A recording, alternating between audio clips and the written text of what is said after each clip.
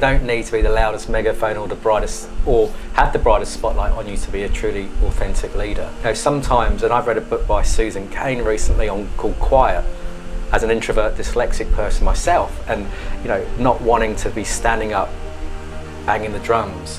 You know, you mentioned the boot camp, and you just see the the quiet ones going about their business.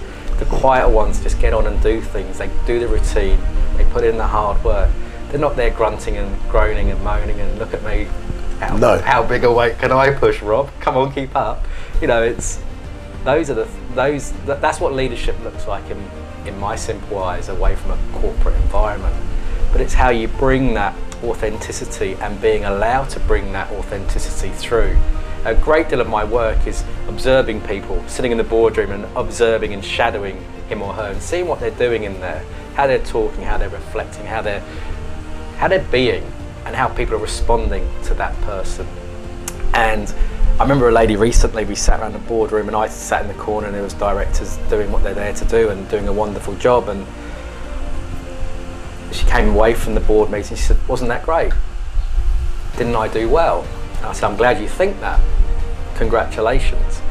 Yet we'd sat in here in the global headquarters and, and what I had observed and seen and how you and I taught is a very different character that she was bringing into that boardroom.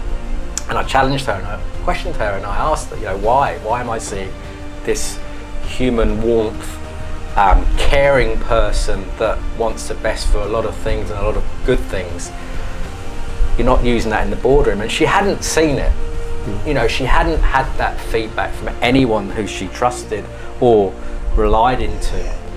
And sometimes having that those people that you can trust, those people you can lean on around you to say, hang on a minute, you're doing yourself a disservice. You're not giving yourself the opportunity to push that weight or to run up that hill. You can do it. You know, just give somebody that support to bring yeah, that out in them. Yeah, I've been reflecting a bit recently that uh, in business and possibly in other areas of life, but let's we're talking about business. Mm. Uh, we often uh, I think, expect our chief executive or our directors, probably particularly the chair, to be leaders in some sense. Mm. And that's interpreted as being, if you like, the person with the megaphone in a metaphorical kind of sense. And I wonder if that's not the wrong, increasingly, I wonder if that's not the wrong thing that we're expecting. That for a business of any great size, particularly to succeed, uh, it needs a lot of leaders. It needs a very decentralized group of people who can inspire and guide and sometimes control uh, uh, others.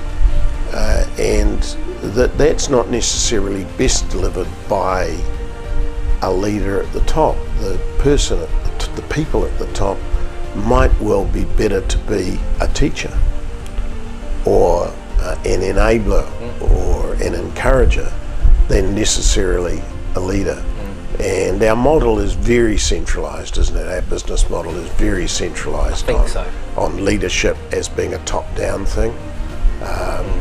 And uh, rather than seeing what you need is more, and so the people who are in your top positions may not be your best leaders, and that may not matter. They might be uh, introvert dyslexics mm. uh, who, but who nevertheless quietly walk around encouraging, enabling, opening doors, all that sort of thing. And pe- sometimes the people who might be the best for our business are not what we call leaders.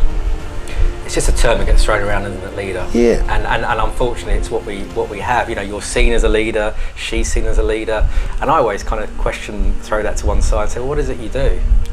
Mm. What is it you do? Um, and if people sit and it's all about one thing or another, I say, well, that's great, but who's helping you? Who's around you to support you? Um, who's going to enable you to, to be great? Or who's going to enable your business to succeed into the future?